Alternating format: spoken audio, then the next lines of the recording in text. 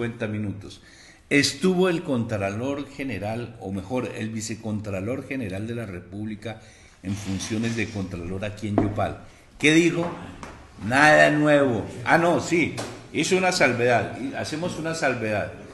Dijo lo siguiente, ojo, gobernador de Casanare, César Augusto Ortiz Zorro, porque usted suspendió un proceso de licitación para la adjudicación del PAE en Casanare, la, alimentación escolar en los niños.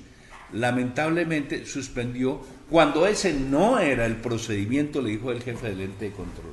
El procedimiento, señor Ortiz Zorro, era haber hecho observaciones sin suspender el proceso y en el camino hacer los ajustes que usted creyera convenientes. Pero la suspensión le amerita a usted una investigación la apertura de un proceso que esperemos no termine mal, sino que las cosas se puedan arreglar en el camino. Lo cierto es que el Contralor vino y lo único nuevo que dijo fue eso, no más. De resto, todos lo sabemos acá y que los procesos de los cuales él vino a hablar aquí llevan años allá en la Contraloría General de la República. Eso no es nada nuevo. El proceso que el edificio de... ¡Ah! Que tres exalcaldes de, de Casanare, hoy reelectos, tienen investigaciones que no sé qué. Vergüenza le debería dar al Contralor que ha pasado tanto tiempo y no han resuelto nada. Por ejemplo, el caso de Javier Álvarez, el puente Monterralo-Tauramena. Ese puente, ¿hace cuánto? Desde el 2017 empezó la obra. Todo ese tiempo ha pasado, ni hay obra, ni hay nada, ni nada, y la plata está extraviada. ¿Qué ha pasado? Nada, pero viene a hablar aquí con mucho bombo y platillo. El edificio que construyó el señor eh, Jorge Camilo Abril Tarache, actual eh, alcalde de Payariporo y representante a la Cámara. Él fue alcalde, después fue representante, después perdió elecciones. Han pasado casi 12 años de esa obra y ahí está el edificio. Y no ha pasado nada. Siguen en exhaustivas investigaciones. Y el caso de Tocayera, en el municipio de Orocuelo, investigan por un proceso de construcción de vivienda que tuvo anomalías.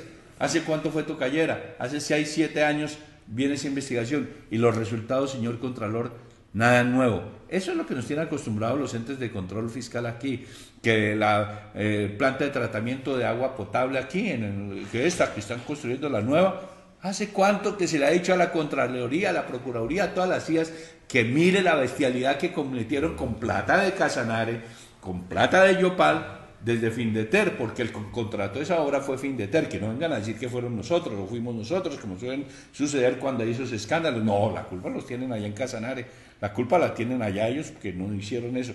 Entonces, ¿a qué viene el Contralor? Bla, bla, bla, bla, bla, bla, bla, bla, bla. Ellos vienen a eso, a hacer pantalla, a hacer cosas, pero no a entregar soluciones. Torres del Silencio, vino a hablar de las Torres del Silencio. ¿Ustedes desde cuánto vienen escuchando de Torres del Silencio? Hace muchos ratos. Bueno, y, están tabarados en a ver a quién le corresponde la demolición. Hágame el favor. En esa terrible discusión está que la reubicación hace 13, 14 años y que hay responsables fiscales. ¿Dónde están? ¿Dónde están las sanciones?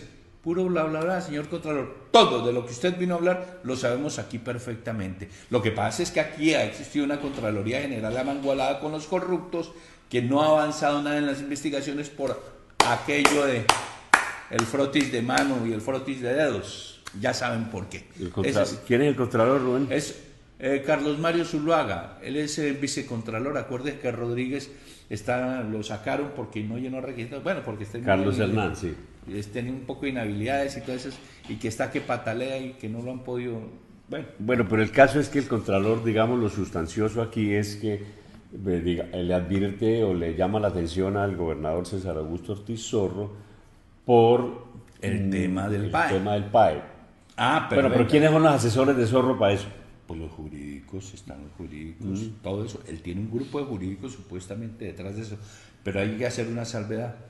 El Contralor sí hizo una felicitación. ¿Por qué? A la Secretaría de Educación del municipio, de Yopal porque esa secretaría sí dejó todo enrutado para hacer las cosas bien que para cuando haya empezado el año escolar los niños hayan tenido su eh, ración diaria hasta por 90 días.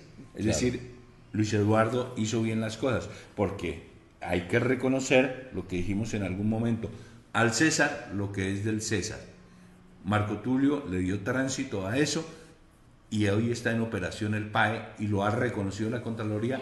¿Pero por qué? Porque se ocuparon desde la administración anterior de hacer el procedimiento tal y conforme todo el proceso de acuerdo a la normatividad establecida por la ley.